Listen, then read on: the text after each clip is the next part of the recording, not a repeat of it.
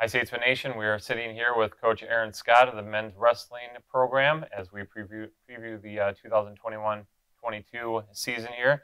Uh, Coach, let's recap last year, then we can get into this year. But um, you know, last year team started to come around, getting some guys uh, really close to qualifying. Um, you know, Joe Eads made it. Unfortunately, came a little bit uh, shy of being an All-American again. But let's uh, put it in your words. Talk about last season. Yeah, last season was a big step in the right direction for us. I would say, you know, overall as a team, we had our best dual season yep. in a really long time. Uh, we had some young guys that really stepped up and made a difference. Yeah. And um, you know, we're just looking forward to having those guys back with a little bit more experience.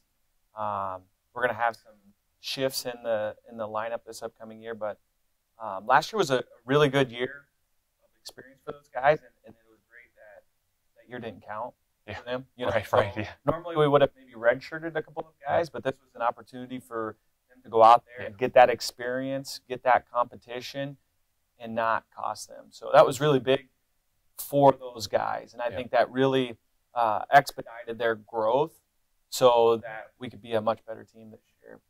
And then, you know, yeah, it, it was great that uh, Joe qualified for nationals. You know, I know he was a little disappointed um, in not making it on the podium again this year. You know, or that year. We were, we were proud. Um, and then, you know, looking forward to this year, those those freshmen um, that were in the lineup. You know, we had four or five guys that if they mm-hmm. would have won their last matches at conference, they would have went to nationals. Yeah, yeah. You know, so our guys are right there. Yeah. They're they're right there. They're banging on the door.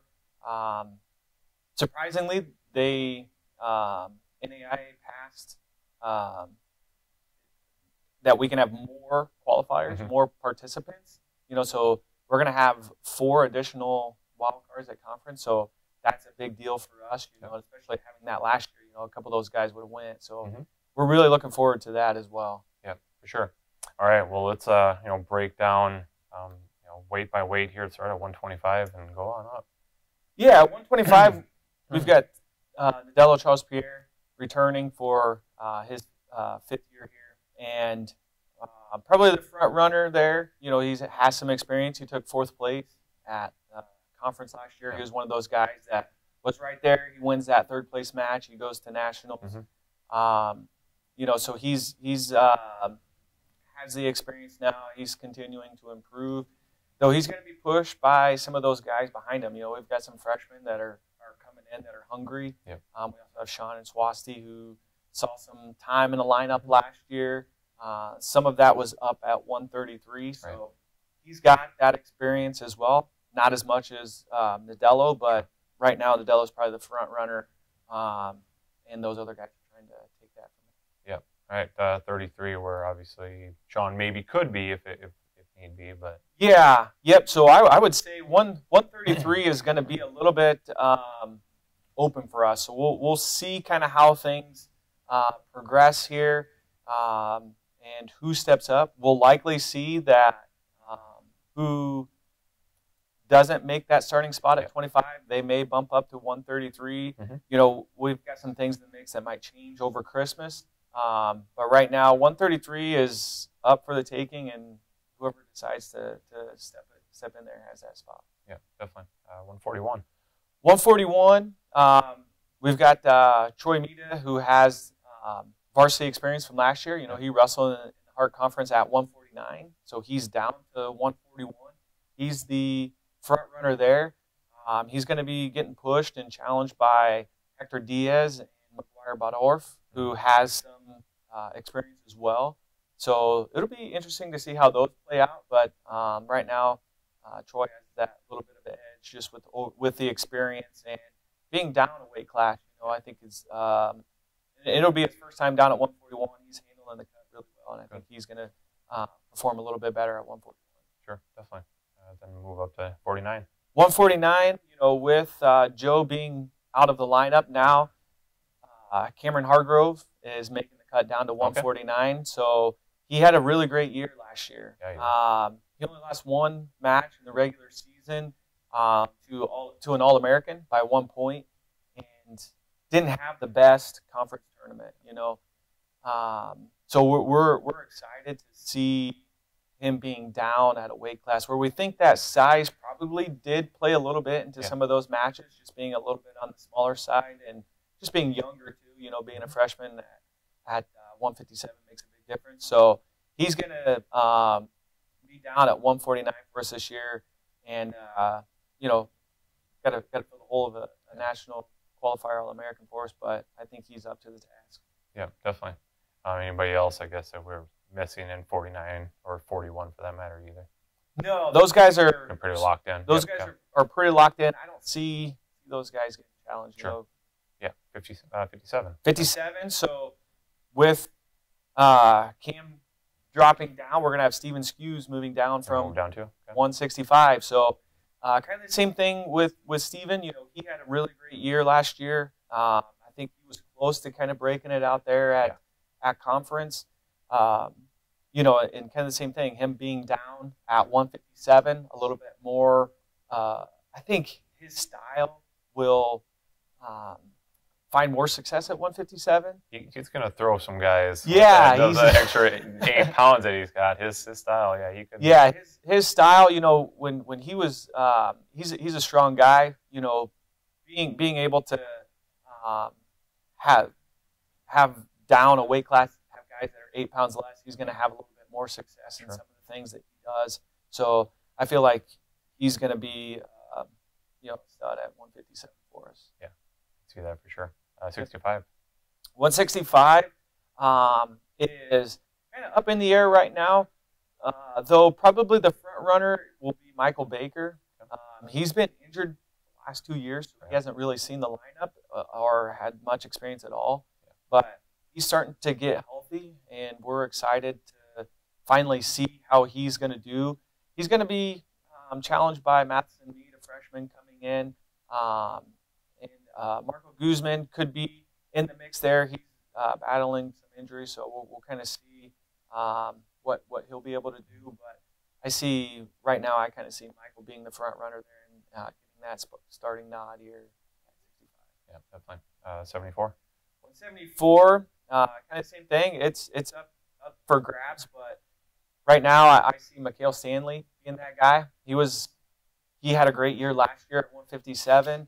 Um, he wrestled 174 for us a few times last year, weighing 157. Mhm. So he bumped up two weight classes, but was still uh, battling there, and you know lost a few close matches. So he's going to kind of bump up out away from you know those four other guys. We're, we're pretty solid in those middle weights, so Yeah. kind of getting him up um, by himself and uh, not having him cut any weight, um, just allowing him to be uh, quick and explosive. Yeah. I think he's going to uh, do very well. So uh, I see Mikhail being there and having a pretty, pretty good year for us.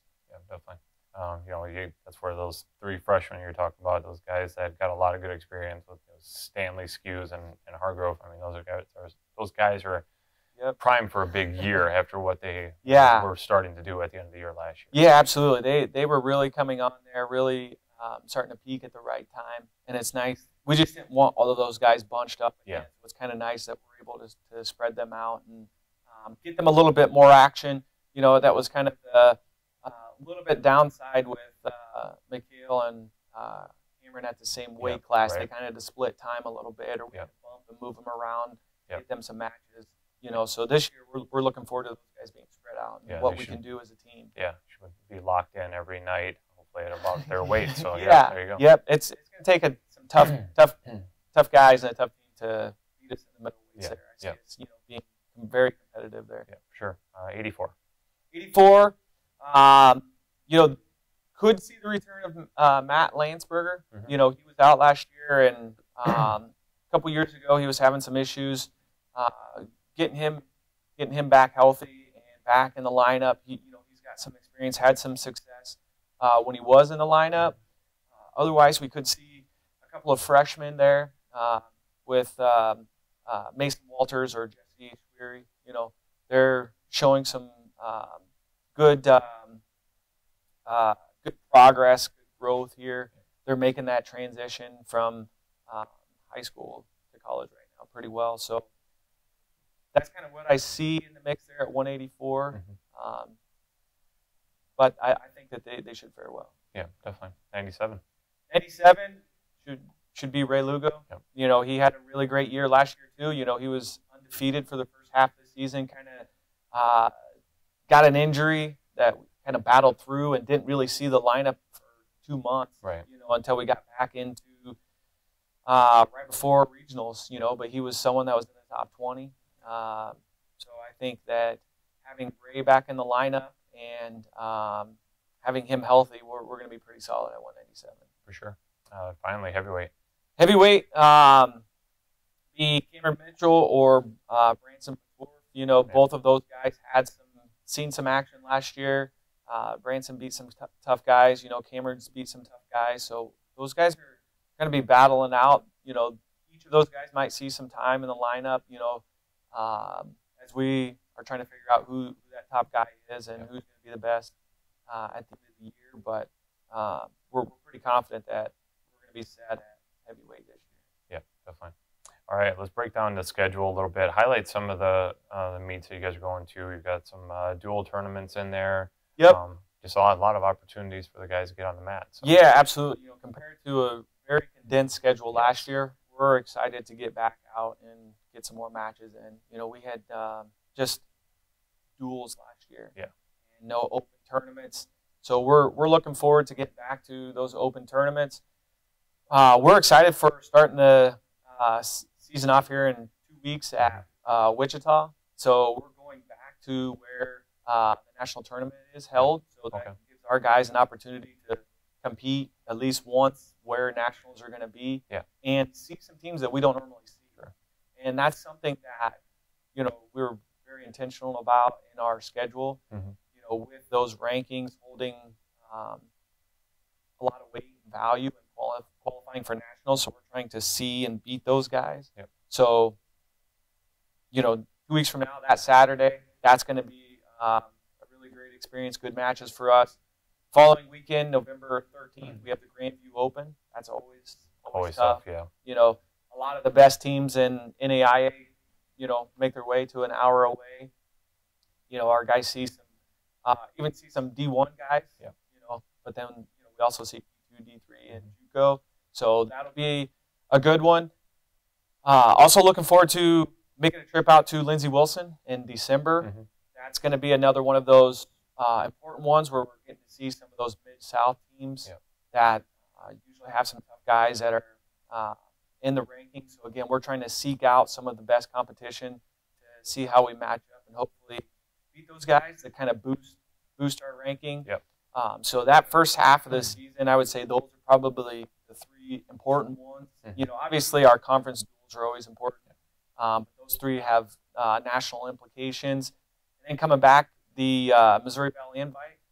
It's basically a, uh two-day tournament. That's a mini national tournament for Yeah, us. yeah. You know, if you if you place at the Missouri Valley, Missouri Valley Invite, there's a good chance you're going to be an All-American because there's, you know, most of the top 20 teams there Yeah. in the country are there, and it's mimics very much like the national tournament where you weigh in uh, Friday, you wrestle, and then you come back and you got to make weight that second day. Oh, you You know, so and some of those guys are going to get six matches in it. Yeah, right. You know, Yeah, which sure. that that's one of the only opportunities that we can get to Yeah. do that. So that'll that'll be a big tournament, and then you know we're looking forward to hosting the conference tournament again this year. You know, Maybe you are. yeah, you know No, that's a it's a it's a really good event for us. And Yeah. I think, it, I think everybody really enjoys it. yeah, absolutely. It's it's a, a really really big deal um, to host something like that, and then having just I'll call it the home mat advantage, where Yeah. our guys get to sleep in their bed the night Exactly. before, we get to hang out in our locker room, we get to warm up and um, you know be be in our wrestling room and have our home wrestling fans here cheering us on. So Yeah. we're we're pretty excited about that. Yeah, for sure. All right. Uh, you know, last but not least, let's talk about what's it going to take for this team to be successful at the extent of where we want to be successful to, to reach those those uh, you know, Yeah. goals. Yeah, absolutely. We have the, the potential is there. We just got to uh, put in the work and show up. You know, and these guys have been working really hard this preseason. Um, I've been very happy with our uh, preseason training. Guys are working hard, getting tired, pushing their limits, and um, in the wrestling room, we're we're well conditioned and we're starting to clean things up. We know that we're going to be a little rusty, a little sloppy on things, but um, they, they've really been starting to look sharper and Yeah. their weight management this year is better. And then you know, so our training is there. I think our training is spot on, and we're kind of where we want to be and where we need to be. The next thing is, is you know just making sure that we show up and compete. Yeah. You know, and I, I think that's something that this team did really well last year. Is when we were getting in those duels, guys were having fun and they were wrestling for the team. Mhm. You know, and I think that's the, the big thing is going out there and looking for those bonus point victories. Yeah. And they they did that last year. And I think that's one of the first times that we've had a team that was very aware and cognizant of team implications Mhm. and going out and get bonus points and then also trying to prevent bonus points. You know, if we find ourselves in a hole, you know, we got to battle back and um, not allow any bonus points. So I would say, as far as duels are concerned, with our dual schedule, that's going to be important. And, uh, you know, and, and then just making sure we're having fun. And I would say the, the culture and the, and the family feel that this team has is probably uh, the best place that it's been. So I'm excited to compete. They're excited to compete. You know, we all kind of uh, know what we could do. Now it's just time to go out there and make it happen. All right. Once again, head men's wrestling coach Aaron Scott. Uh, just talked about the 21-22 season. They start up in a couple weeks, so we're excited to uh, keep track of them. Best of luck uh, this season, coach. I'm sure we'll eventually be talking to you uh, again uh, pretty soon. So Absolutely. Thanks, Thanks, Coach. Wade.